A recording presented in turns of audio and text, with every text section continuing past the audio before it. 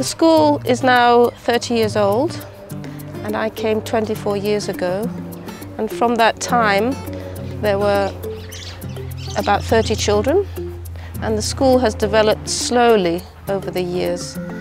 Uh, we have 350 children and 80% of the children are from poor backgrounds and this leaves a challenge for us to run the school.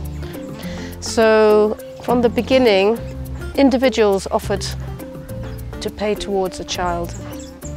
And this means that the school is run from individuals paying an amount towards a school for children.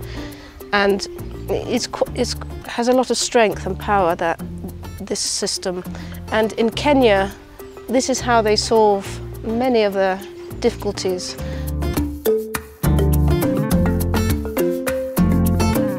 Our school is 80% sponsorship and donations and 20% fee paying, meaning only 20% can be able to pay school fees. The other 80% uh, we have to fundraise and to look for sponsorships that come in month after month.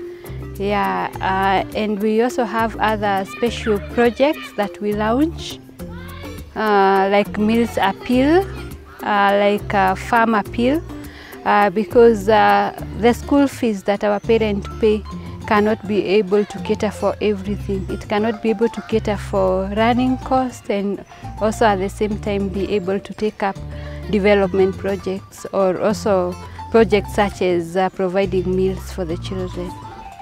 One of our targets this year is to find more sponsors for our children. Um, because at presently our running costs are not meeting our needs. And this regular sponsorship really allows us to run the school. And because we're a bit short uh, we've got a campaign this year to find more sponsors. Um, and people can pay a little amount monthly which would which helps us to have a school here.